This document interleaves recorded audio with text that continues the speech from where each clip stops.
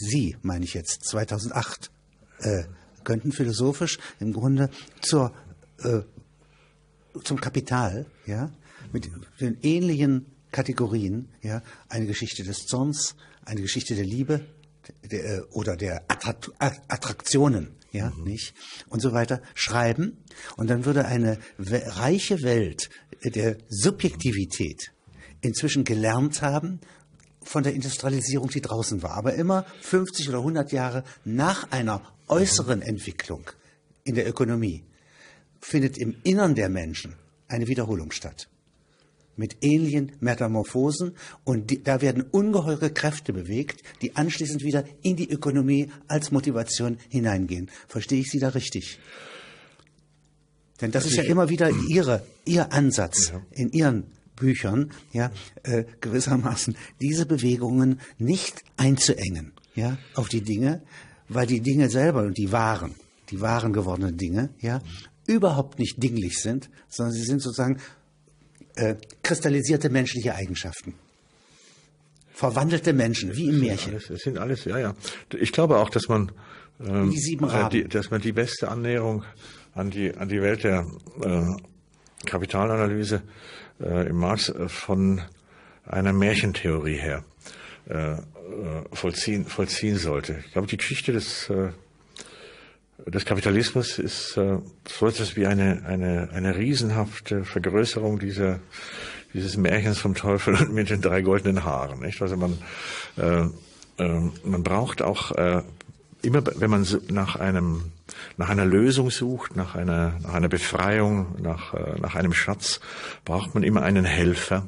Das sind diese äh, so berühmten Adjuvanten in der Märchenmorphologie von, von Prop und äh, Grémas, einem großen äh, französischen Strukturalisten. In den Märchen der, übrigens Frauen, ja, ja. einschließlich der Großmutter des Teufels, die auch ja. der Glückshaut hilft, ja. ja zu den drei goldenen Haaren des Teufels. Ja. Und das sind also die, diese Helferfiguren, das können Personen sein, das sind aber auch zum Teil Tricks oder Sachen, also so äh, Amulette. Äh, über Amulette muss man, äh, werden wir noch gleich reden, gleich müssen wir noch gleich äh, reden müssen, weil ja äh, Marx der erste war, der verstanden hat, äh, dass eine Ware eben nie, nie nur das ist, äh, was sie zu sein scheint, sondern dass immer auch eben einen, einen Amulettcharakter äh, besitzt. Ein versteckter Mensch, und zwar viele Menschen. Ja, und dass sie, ja, dass sie, äh, dass sie eben ein, äh, alle, alle Dinge verzauberte Menschen sind. Ähm, also aus dieser, aus, aus, aus dieser Sicht wird, wird einem tatsächlich klar, dass die, äh, dass nur der größte Märchenerzähler imstande ist, äh, die Welt äh, von Karl Marx, nämlich äh, die Welt der größten Verzauberungs Analyse, die es je gegeben hat, zu durchdringen. Also man muss, man muss äh, äh, man muss, man, muss, man muss, geht nur ja, dadurch, ja, durch diese Zaubereien. Ja, genau. Daher äh, hätte man von Anfang an verbieten müssen, das Kapital allein zu lesen. Man hätte äh, einen Kanon bilden müssen. Das ist vielleicht ein Vorwurf, den man doch äh, Lenin und Co äh, auch aus heutiger Perspektive äh, machen muss. Man hätte einen Kanon bilden müssen und sagen, also, äh, wenn man das Kapital liest, ohne die Metamorphosen von Ovid daneben zu lesen, ja, dann ist man äh, auf der schiefen Ebene. Sagen dann, Sie nicht man, Lenin und Co., denn ja, er ist ja. Äh, sozusagen ja. schon ein sehr hohes Individu Individuum, aber irrendes Individuum wie viele, ja, ja nicht? Ja. Und äh, sozusagen vereinseitigt. Und diese mhm. Vorschrift, glaube ich, ja, ist der Kernpunkt. Und man kann auch Marx noch mit Musik versehen, ja, hier diese Texte, ja, und sie wandeln sich. Überhaupt hat, hat, hat, der ganze Marxismus bei der ähm, Zusammenstellung seiner Klassikergruppe, nicht? Vor allem dieses, äh, diese unglückliche Trias, Marx, Engels, Lenin, nicht? Hm. Äh, einen falschen Kanon gebildet. Äh, wenn man äh, äh, den vierten Mann, äh, Ovid, der in die Gruppe hineingehört, äh, weglässt, ja, bekommen wir einen verstümmelten, äh, im Grunde genommen positivistischen Marxismus. Das ist das, das ist das Elend des Marxismus gewesen, dass er seine eigene äh, märchenhaft metaphysische Komponente äh, unter, unterschätzt hat und eigentlich mit dem Positivismus der bürgerlichen Wissenschaften kon konkurriert hat. Ja, und zwar im, und zwar im Namen dieses dieses äh, Gebrauchswertes, nicht? Äh, es gab ja eine Generation der falschen Sachlichkeit. In, in, die falsche Sachlichkeit. Nicht? Man hat einfach immer vom Gebrauchswert geträumt, äh, bei dem diese ganzen äh, mystifizierenden Elemente an der an der Wertsache weggenommen werden und dass Menschen in ein, in ein trockenes Reich überführt werden, nicht, wo in eine in eine in eine Welt, wo die Ware vollkommen entzaubert wäre und die Menschen wieder äh, zu den Realbeziehungen zurückkehren, die sie untereinander haben.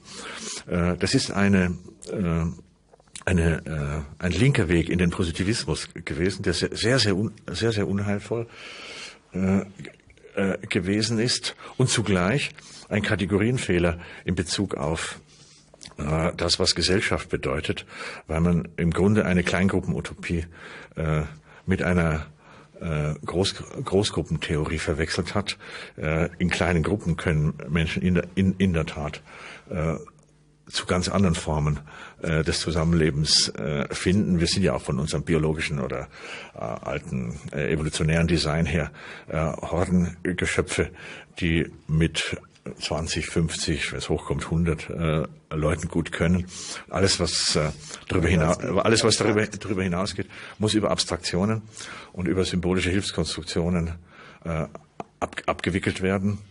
Und wer das versteht und wer das äh, mit sich selber abmachen kann, nicht? dass man, dass es nicht möglich ist, die Welt in eine in einen Freundeskreis zu transformieren. Ja, der hat, glaube ich, äh, äh die erste sozialistische Lektion äh, gelernt und kann dann sozusagen auch diesen, sozusagen diese äh, telekommunikativen Elemente, die in, in der menschlichen Koexistenz äh, benötigt werden, äh, positiv gedeutet. Das ist das Entscheidende, nicht? Wir dürfen nicht äh, unseren Kleingruppenreflexen allzu sehr äh, glauben, sondern wir müssen davon ausgehen, äh, dass die dieses andere Märchenmotiv, dieses politische Märchenmotiv, dass man die Welt in eine Wohngemeinschaft umwandeln möchte und dass man äh, die, äh, die Menschheit als Freundes als, Freund, als Freundeskreis und Familie darstellen möchte. Das ein Atavismus ist. Ja, ja? das ist ein, ein Atavismus und vor allem aber auch eine, eine gefährliche äh, Irreführung, die uns im Unklaren lässt darüber, was es mit unserem transzendierenden Elementen Weil wir damit gefälschte äh, und falsche äh, Idole, falsche Symbole, wie zum Beispiel die Nation erzeugen. Ja, nicht? Mhm. Also eine Identität, die wohngemeinschaftsähnlich von weitem aussieht, ja, ja, ja, in Fahnen und Bildern gestaltet, so aussieht, ja, ja. aber das überhaupt nicht ist und überhaupt, sein kann. Überhaupt nicht sein kann, mhm. weil Menschen äh, nur durch eine Art von äh, großem Emotionsbetrug äh, Familiengefühle äh, gegenüber 50 oder 100 Millionen äh, eigenen äh, entwickeln kann. Nicht?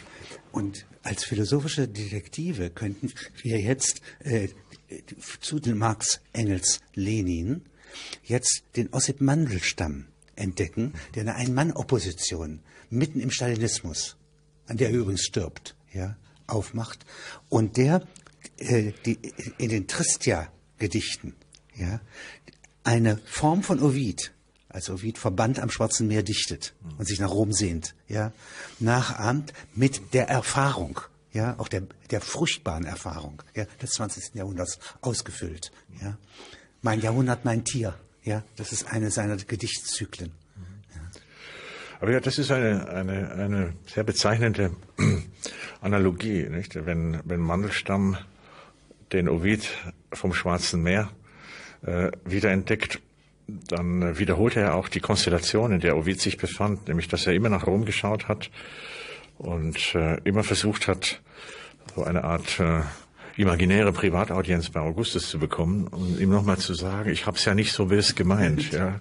Und meine freche böse Zunge war schon meine, verraten. Meine, meine böse Zunge hat sich da einen Moment lang selbstständig gemacht und du bist doch der Einzige und der Erste, der das verstehen müsste, äh, weil du ja ein äh, Sohn der Musen bist, äh, der im Moment zwar von den harten Geschäften absorbiert wird, aber eigentlich doch auch einer von den unseren. So haben übrigens viele äh, Autoren äh, der Stalinzeit immer nach Moskau geschaut und, und immer das Gefühl gehabt, dass der einzige Leser, auf, äh, auf den es ankäme für sie, äh, dort im, im Kreml sitzt und nachts das Licht brennen lässt. Das Licht brennen lässt. Es ist eine andere Verzauberung, die hier hintersteckt. Ja? Das ist keine des Kapitals, das ist eine ältere. Dass ich glaube, das ja, ja. dass der böse Gott ja doch irgendwie einen gutmütigen Moment haben könnte. Introjektion des Aggressors. Ja. Und dass der und dass der Mensch, der vom Dämon der Strenge erfasst worden ist, also der Mensch, der sozusagen den Staat in sich hereingelassen hat.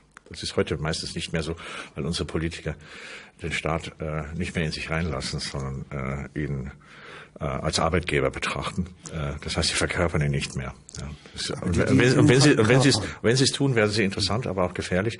Aber die meisten äh, Politiker heute äh, haben ein äh, Arbeitnehmerverhältnis äh, zum Staat und zur Gesellschaft. Da müsste noch ein Rest an König sein, ja? ja wenn genau. er so brutal ist. Ja. ja, dann ist die Vermutung dann, berechtigt. Ja, dann ja? dringt in ihn dieses kälteste aller Monstren, von dem Nietzsche gesprochen hat, auch persönlich ein. Und dann entwickelt er etwas, was Menschen normalerweise gar nicht haben und nicht können, nämlich eine, diese Strenge des, der, der Überpersönlichkeit. Man hat es, der König, der Richter, äh, der Henker und der Gerichtsvollzieher, das sind alles so Figuren, in denen der Staat nach seiner strengen Seite her äh, sich darstellen kann. Das sind alles Derivate der Königs Funktion. Nicht? Das und das ist von der Intelligenz, von der Sie vorhin ja. sprachen, ja, die auf Glauben beruht. Die ja, auf Glauben auf und, die den, ja, beruht. und die den, die den Ernstfall denkt und äh, die immer dem Tod nahe ist, weil das ist das Ernsteste, was äh, Menschen begegnen kann, die auch den Staat immer vom Tod das her behält denken. unter allen Umständen auch mhm. den der Inhumanität eine Glaubwürdigkeit. Also insofern ja. ist der Thoas in Iphigenie, ja, nicht eine sehr ernstzunehmende Figur. Ja, weil er auch die die man auch er, nicht umbringen kann. Weil er die, äh, sozusagen den, den Willen des Staates zu sich selbst verkörpert und den Vorsatz, auch in der nächsten und in der übernächsten und in, noch in 100 Generationen da zu sein. Und deswegen muss er eine Art äh, Verkörperung des Notwendigen äh, darstellen können, das ist etwas, was in normale Menschenseelen überhaupt nicht eindringt, also was nur tangential das berührt. Auch Dichter werden, lassen das meistens abgleiten und stehen zum Notwendigen immer im spitzen Winkel. So, äh, selbst äh, Vergil, äh, der äh, seelisch sehr nahe an das Imperium rangegangen ist, nicht, äh, hat immer noch für sich mehr Spielräume äh, gefordert als äh, Augustus äh, sie, sie, sie besaß. Und Ovid sowieso, nicht? Der war ja äh, geradezu ein Filou im Verhältnis zu, zur Staatlichkeit. Das ist das, was ihm Augustus wahrscheinlich übel genommen hat. Äh, und äh, weswegen er die böse Zunge dann doch äh, zum äh, Staatsverbrechen erklärt hat und äh, seinen äh, besten Lyriker äh, ans Schwarze Meer äh, verbannt hat, wo er dann Traurigkeit sang. Aber Mandelstam ist in, äh, hat völlig recht, sich in, in, in, ihn, in ihn einzufühlen, weil er ja äh, Nachrichten nach, nach, nach Moskau äh, senden muss an einen, an einen Mann, der diese Härte, äh, äh, die Härte, die aus dem, aus dem Staat, aus der Notwendigkeit, aus der Geschichte äh, kommt, schon in seinem Namen darzustellen versucht hat. Er hat, er hat ja eigentlich eine äh, für, für sich selber eine Mythologie der Grausamkeit und der, der Nötigung zur Grausamkeit entwickelt, äh, die am Ende seine ganze Psyche aufgefressen hat. Dies ist eine Art Unterwelt der Ökonomie, eine Art Gegenökonomie, die man immer hinzufügen muss, ja, und die die Ökonomie tangential nutzt gelegentlich, ja, zum Beispiel im Faschismus, ja, mhm. im leisen Faschismus auch, ja, äh, die aber bei Ihnen ein großes Interesse darstellt. Also wenn man die auslässt, ja, äh, ist ein Teil ja, äh, des Menschen, Menschenwesens auch wieder nicht erklärt. Also es geht nicht alles in die wahren Welt ein, ja, sondern es bleibt etwas draußen vor, was sich sozusagen nie ja. städtisch wurde. Das hat auch damit zu tun, dass äh, das Kapital und damit auch Marx und alles brauchen einen äh, durch und durch erotisierten Menschen. Das ist eine, eine äh, für ihr Weltbild und zur Erklärung ihres Systems. Und damit können sie nur äh, den halben Menschen erklären, weil Eros, wenn man das Wort äh, ein wenig ungewöhnlich für moderne Ohren mit Gier übersetzt, äh, wir haben ja einen Eros-Begriff, äh, der inzwischen anders klingt. Da denkt man immer an dieses Knistern der Geschlechterspannung und äh, all die hübschen Attribute, die dazu käuflich erworben äh, werden, werden können. Äh, Nein, vor Gier allem und Attraktion. Die, äh, Gier und Attraktion und, äh, äh, und die Freude daran, dem eigenen Impuls erliegen zu können. All diese Dinge, nicht? Also äh, der Kapitalist ist ein, ein durch und in dieser Zeichnung ist ein durch und durch erotisierter Mensch, der äh, äh, von einem Dämon äh, gesagt bekommt, die anderen glauben, Gier ist schlecht. Ich verrate dir im Geheimen, Gier ist gut. Ne? Wir sind jetzt im Moment in der Popularisierung. Diese Nachricht ist inzwischen beim Proletariat ange angekommen auf, äh, durch die moderne Werbung. Aber äh, in den letzten 200 Jahren äh, begann äh, eine dämonische Ausnahmemoral wirksam zu werden. Im Bereich der Politik hat schon seit Machiavelli ein anderer Sektor die Ausnahmemoral äh, proklamiert. Wenn du in die, in die Staatsposition kommst, wenn du Prinzipe sein musst, dann musst du äh, auch gegenüber der Allgemeinmoral, der christlichen Allgemeinmoral, äh, die äh, Ausnahmen lernen. Jetzt das Wort Fetisch. Ja, was bedeutet, was heißt Fetisch? Ich glaube, das sind die Schlüsselworte. Also wir kommen mit dem Wort Fetisch auf eine afrikanische Spur. Und zwar äh, scheint die Wortgeschichte äh, über, über äh, den portugiesischen Afrikahandel äh, zu führen. Äh, die portugiesischen Händler und äh, vielleicht auch die Missionare haben beobachtet, dass äh, äh in äh, Mittelafrika ähm, ganz eigenartige Formen von Kulten äh, verstehen, äh, bestehen, die den, den, den katholischen Besucher unheimlich anmuten, weil sie wie eine archaischere Stufe des katholischen Heiligenkults äh, wirken, und zwar äh, sozusagen die, die dunkle Quelle des, desselben. Die haben beobachtet, dass man dort Statuen herstellt, äh, menschenförmige äh, Gebilde mit äh, relativ äh, äh, grausamen äh, Gesichtszügen. Und man hat dort äh, einen, einen Ritus befolgt, wonach es nötig war, diese Gestalt, diesen, äh, diesen äh, Fetisch im Werden äh, mit Seelenkräften aufzuladen. Da, dabei entstanden diese berühmten Nagelmänner aus dem, aus dem Kongo, äh, manche tragen bis zu 100 Nägeln, äh, sind, sind gespickt rund, rundum äh, mit einer mit einer Decke aus Eisennägeln. Das gehörte zur, äh, zur einheimischen Produktion, weil ja äh, Afrika äh, auch schon seit seinem eigenen Mittelalter eine Eisenproduktion be, be, besessen hat. Und mit jedem Nagel wurde sozusagen ein ein Wunsch oder ein Fluch äh, in den Körper dieses äh, Objekts hineingetrieben. Was mitten im Ersten Weltkrieg noch mit Holzfiguren von Hindenburg geschieht, wo Nägel hineingetrieben werden. Man muss eine Spende mit dem Nagel verbinden. Mhm. Aber die Idee, dass man ja. in einen Generalfeldmarschall, ja, eine ja. verehrte Person, ja, ja, dicke Nägel reinschlägt und das einmal darf, ja, das darf, ist interessant. Ja. Es scheint also eine elementargedankenhafte äh, Figur zu sein, also eine, eine, eine Geste, die auch dem einleuchtet, der sie noch nie begangen hat. Das, das, solche, solche Dinge deuten immer darauf hin, dass Elementargedanken oder Elementargesten bereit liegen, äh, die Menschen, wenn sie, auch wenn sie sie zum ersten Mal äh, vollziehen, sofort, sofort etwas bedeuten können. Also, und so und, werden die wertvollsten äh, hingebenden Eigenschaften mhm. von Menschen ja, in Arbeitsteilung mhm. ja, und unbewusst. Ja. ja. die Menschen wissen nicht, dass sie das tun. In Waren eingehämmert ja, und kehren dann als Waren wieder mhm. zu den Menschen zurück. Aber das kann auch ein Geschoss sein, eine Ware. Ja. ja. das kann auch ein Tigerpanzer sein.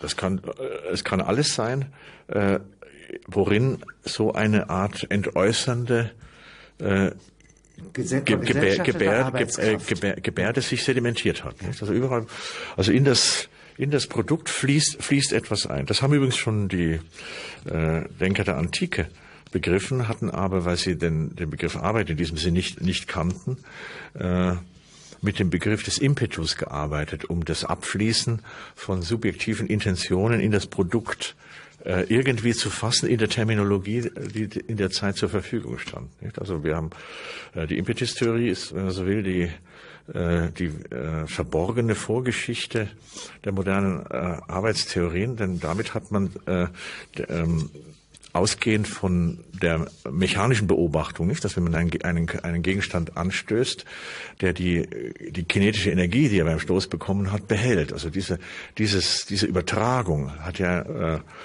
wenn man sich recht überlegt, tatsächlich auch etwas Mysteriöses. Wenn man, ja. äh, äh, wie ist es möglich, dass äh, meine Kraft in die Sache da reingeht?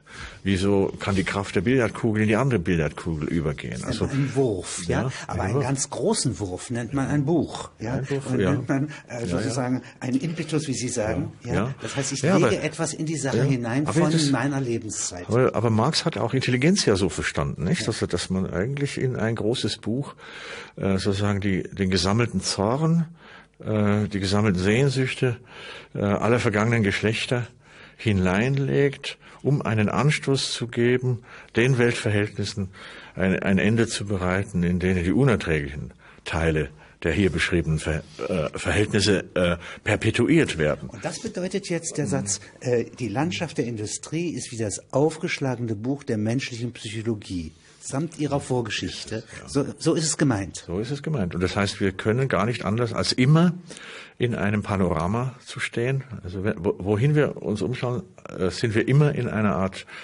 äh, in einem, in einem historischen Museum. Und gut ist es, wenn wir es kommentieren, ja, ja. uns leise vorhersagen. Wir brechen den Bann der Verhältnisse, wenn wir es, die Verhältnisse entziffern. Wenn wir es leise vor uns her sagen. Das ist, der, das ist, glaube ich, die ganz entscheidende Geschichte. Man kann hier äh, gar nicht mit sowas wie revolutionärer Gewalt ansetzen, sondern äh, die Arbeit der Profanierung äh, besteht darin, dass man in die äh, in die Produktion zurücksteigt und das heißt aber ein Schatzgräber, ja, ja, ausgräbt, was verschüttet ist. Und da muss man auch Dinge ausgraben, die keine Waren sind, sondern man muss auch die Flüche ausgraben, die in die äh, Fetische äh, hineingehämmert worden sind. Man muss die als die, Gegengifte höchst brauchbar sind. Und man eben, man kann sie neu, neu verwenden. Also äh, die Menschheit ist. Sie verwandeln sich auch selber. So, denn ein ja. abgelagerter Fluch kann Ressentiment werden, ja. ja. kann aber auch vergessener Fluch sein. Und dann weiß man nicht, ob das nicht eine segensreiche Zauberkraft hat. Denn von Menschen ist es ja, ja gemacht. Und viel Mühe liegt drin im Zorn. Eben. Also Kurzum, also wer sich auf das Gebiet begibt, äh, hat, äh, hat äh, die verdammte Pflicht und Schuldigkeit, äh, Alchemie zu studieren. Das heißt, man muss dieses, dieses riesige äh, Transformationslabor äh, für subjektiv, Erfahrung, subjektive ja, und objektive Kräfte ja, mhm. und alles, was in Erfahrung gebunden ist, immer wieder neu äh, mischen, neu synthetisieren. auseinanderlegen, auseinanderlegen ja. ja. ja. Und es gibt so etwas, und es gibt so etwas wie ein, ein letztes äh, Destillat, nicht, äh, aus dem dann die revolutionäre Explosion würde. Das kann man nie, kann man nie sagen, äh, welche Reaktion diejenige ist, die eine Reaktion zum Besseren hervorruft. Wir haben ja in diesem Labor ein, im 20. Jahrhundert ein paar äh, mehr oder weniger missglückte Großversuche gesehen, die Kräfte, mit denen experimentiert worden sind, sind immer wieder, sind immer noch da, äh, stellen sich im Moment auch wieder neu auf und verlangen nach, mehr denn je nach äh, einer sinnvollen Alchemie. Und zwar, äh, die im, im Lichte der, im Lichte der Erfahrung, äh, hilft an diese verzauberten Verhältnisse zu rühren.